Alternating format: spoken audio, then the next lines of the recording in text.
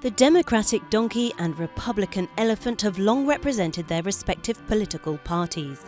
Both symbols can be traced back to the 19th century political scene. The donkey was first linked to the Democrats during the 1828 presidential campaign of Andrew Jackson, who went on to serve as America's first Democratic president. His opponents called him a jackass, meaning donkey. Jackson found this amusing and began using the animal on his campaign posters.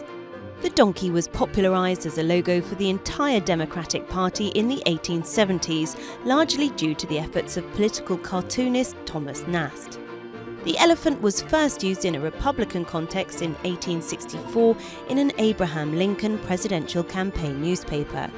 But it wasn't until Nast, who was a Republican, used it in an illustration in 1871 ahead of elections that a permanent public connection between the elephant and the Republican Party was formed.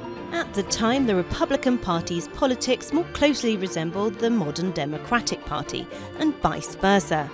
Well over a century later, these two friendly looking mascots have an enduring appeal and continue to be the internationally recognised symbols of the two major political parties in the United States.